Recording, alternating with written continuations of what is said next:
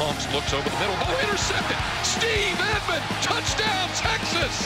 Smith, look right, now being chased and sacked. This time swallowed, swarmed and sacked. Goal deep, intercepted. Kenny Vaccaro.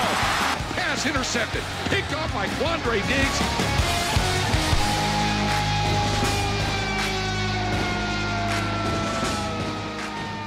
Mondays can be hard on all of us. One of the reasons we like Mondays here at LHN, we get Manny Diaz in the fall. And the coach joins us right now. Coach, you had a little bit of an off week, but we did hear that you had the defense watch every missed tackle. What was that like for them? Well, it sounds a, it's a good story. Uh, we've um, we took the whole off week and we sort of watched everything that we've done from the first uh, three games, and uh, what we liked, what we didn't like, and what we have to do better, and what we don't have to do better, and and our guys understand the fundamentals of playing this game and, and how we have to play it better. So uh, we had a good week. our guys really worked on getting better, and I, th- I, think we're happy with where we're at. End results of watching that, what was the benefit for the defense? Well, they just understand what a fine line it is between a really good performance and, and an average performance. And, and that, I think, is, a, is the key is that there's a lot of really, really good stuff on our tape right now. And if we can just do a couple things to fix the things that we don't really like, then we can really put together the type of game that we think we're capable of. And, and it's not a, it's not very far away from us. So I think the guys are excited about the corrections that they've made. You got to test this Saturday with Oklahoma State. I mean, the Cowboys they end up losing two first round picks on offense, and Brandon Weeden and also Justin Blackmon. How much of the Cowboys miss those two guys? Well, not not according to the stats. Right. I mean, and they are putting up still video game numbers and. Uh, their balance right now is remarkable. What they're doing running the ball and throwing the football. I don't know if there's anybody in the country that would lose a starting quarterback and set the record for school offense the day they lost a starting quarterback like they did. So that's a testament to their coaching, their system, and then the players that they have around the quarterback. It's it's not just a one-man show. They've got uh, they've got multiple backs. They've got two backs that combined for 200 yards when they came here and played us last year. And uh, if we don't stop them, then we're in major trouble. Then then after that, the play action pass game opens up and they, they, they, they, can hurt you in a lot of different ways. So they have our guys' full attention. You mentioned video games. I know co-offensive coordinator Major Applewhite loves playing those because he's an offensive guy. Is it frustrating as a defensive coordinator? Do you just not play the video games because of that? Well, Major plays Super Mario Brothers, which is a little strange. I, didn't, um, I didn't say which one, but yeah. he does play that. Um, well, we're in a world where you watch some of the quarterbacks that we have to play against, and they almost have accuracy that you would see right. on, on, a video game. But but um, some of our guys actually do play a bunch of games. I always encourage them to play that type of stuff. The more you can think this game, the better off yeah. you are. Well, one of the things you see in video games, you see fast-paced offense. Oklahoma State brings that to the table. Why does that make that so difficult on a defense? Well, when you watch, what's scarier that you look at their yards, you look at their points that they're scoring, but you look at the reps, the at bats, the snaps that they're getting, and. Uh, you can be a really good defensive player. It's hard to be a really good defensive player for 75, 85, 95 plays. You're just going to get worn out. So this is a test. Another great example of why we had a, of what we were able to get accomplished in the bye week is that it's not just testing our first 11; it's testing our second 11, and we've got to have 22 guys that we can roll through this game. Otherwise, we're just we're, we're going to wear down. We won't survive it. You see two quarterbacks, Wes Lunt, who may play, may not play, has got the knee injury. Also, J.W. Walsh. What do these two guys bring to the table that make them tough to stop? Well, again, they're both they're both young but they both have done a good job in terms of what they're trying to get accomplished in their system. Um, obviously, when Walsh came in, he's a little bit more of a, of a runner. You know, he's a fast guy, so uh, can beat you on on quarterback run game, but also you can get everybody covered. And, and their passing game puts stress on your coverage. I mean, you've got to be all over the place to cover them when when they spread you out.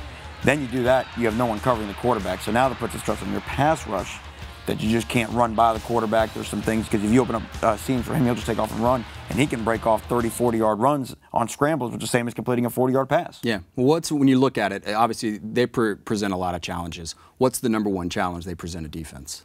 Well, in terms of their balance. You know, in terms of the fact that they can run the ball and throw the ball right now when they want to. And so, what you have to do defensively is you have to find something what they do best what is the easiest to accomplish, you got to try and take that away. And that's going to be a challenge. That's easier said than done. They they really, really are doing a good job right now running the football. They know what they're doing. You see that their line and their backs are well drilled. Their receivers are blocking like crazy down the field. So um, yeah, it's really hard to stop a team if they can do both. You have to find a way to stop one thing or the other, and then try and, and try and rally to the other thing. They're the only BCS team who hasn't given up a sack yet this year. Even in the loss to Arizona, they did not give up a sack. Why are they so hard to get to the quarterback? Well, again, I, I think that's part of the structure of the offense. Their quarterbacks take deep drops. Their offensive line does a good job of pass setting. Their protections are sound. Uh, we will not necessarily always define our, our success on whether we are sacking him as much as how we are affecting him. Mm-hmm. We have got to affect the quarterback. We have to make him make poor decisions, and you can do that by sacking him. Um, they threw a pick six against Arizona that they wish they would have been a sack. Yeah. You know what I mean? So as long as Absolutely. we're affecting the quarterback, then then we'll be successful. And we've seen your defense be able to utilize that, not get sacks, especially last year, but still right. be very effective and cause turnovers. That's exactly right. All right, well, let's take a look at one of the young linebackers because Jordan Hicks may or may not play. We don't know. Tevin Jackson is a guy who's been getting some reps, backing him up. Where is Jackson right now in his development as a linebacker? Well, the, the thing that's most exciting to me is that in year two on our campus, he is one of our top special teams performers. We, we have a, a point system for those guys that are on there, and, and on Sunday we call everybody out. Tevin is a name that's always one of the first ones called out. He's one of our highest point getters right now. He is already, in, if we're at the sort of the quarter pole of our season, he's already uh, one of the potential leaders to be our special teams player of the year. That's what you want because ideally – it's easier, it should be easier to learn how to run down on kickoff, protect the punt, run down a punt, than it is to handle all the things in defense. So what you do is you earn your trust because you, find, you show everybody that you can handle those jobs and then just play football, be able to tackle in space, to do the things that you have to do on kick game, and then you integrate yourself in the defense. And he's done a really nice job with that. I've really been excited to see Tevin uh, develop as a football player. Uh, when we take a look at, at the secondary, are you happy with what the secondary was able to accomplish in the off week? I am. I am. You know, those guys, we have a prideful group of defensive backs, and, and they take the personality of their coach, Coach Akina, because he does such a great job leading those guys. And they know they've put a lot of really good plays on tape, and they put a few plays on tape that they're not as proud of, and they, that they feel like is not up to their standard, which, which we all have. Um, but they still made the plays that win football games, and I think that that can't be understated. You know, when you when you almost catch the interception, usually you almost win that game. And right now, when the ball has been put in danger, they are not almost catching it. They are absolutely catching it. And when you catch it, you don't have to catch very many of them. You're going to win a football game. We've got a lot of data that shows if we can force two or more turnovers, we're probably going to win the football game. So I like the way that we're being aggressive. I like the way we're hawking the ball in the secondary. If we just, uh, again, like everybody else, keep working on our fundamentals, keep correcting our mistakes, I think we're going to be who we expect them to be. Oh, you had a rare off week. I know you had to play part of dad, and you're at soccer games and also baseball games, but it, I'm sure you caught a little bit of football. Was there one thing that stood out from watching football this weekend? Well, you know, I almost sprained my thumb on the remote control. There were some good games there. I had the especially, same problem. Yeah, uh, but I haven't lost it. Just yeah, in case okay, wondering. good, I, I can still flip channels with the best of them. But um, I think what you see week in, week out is that, you know, in college football, as much as we try to predict it, you never really know early on how good anybody is Yeah. at this stage. Uh, and then even the results you saw over the weekend, you still don't really know what that means. We always love to draw conclusions based off the early returns and in the polling, but we still, there's a long way to go because you can see teams look really good one week and then the next week you kind of wonder what's happening. And that's why the best teams don't worry about any of that stuff. They just worry about improving.